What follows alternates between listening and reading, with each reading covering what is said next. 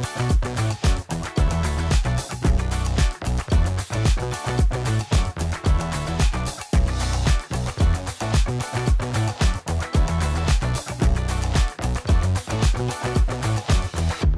super common question we get is can you start an engine from Battle-Born batteries?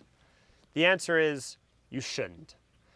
You can sometimes in a pinch, but it, you have to have a large enough house bank to do that, but it is not recommended. It is best to use a lead acid battery to start the engines.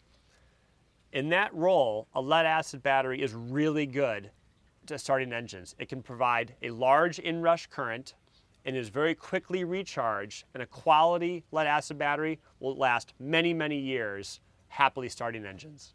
But when you're looking at a house bank, that is where Battle-Born batteries thrive because lead acid batteries really struggle with longevity when they're not fully recharged.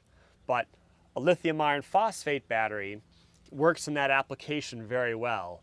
And while a lead acid battery is great at starting an engine, it'll die very quickly in a house bank when not, when not often recharged. So we recommend for house banks, you should consider lithium iron phosphate technology from Battle-Born. I hope you've enjoyed this video. If you have any more questions, feel free to reach out to the team at Battle-Born Batteries. And in the meantime, I hope you consider supporting Warrior Sailing.